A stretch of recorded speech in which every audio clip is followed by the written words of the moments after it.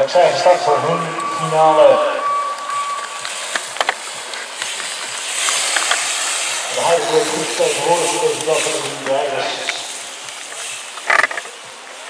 Er zit nog een, een, een, een flying bird tussen de vorm van Dave Prins die nu de leiding overneemt.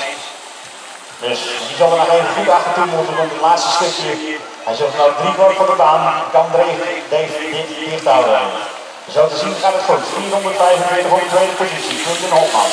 De derde positie is voor de nummer 435, Sander Hoenstra. Dan is het 591.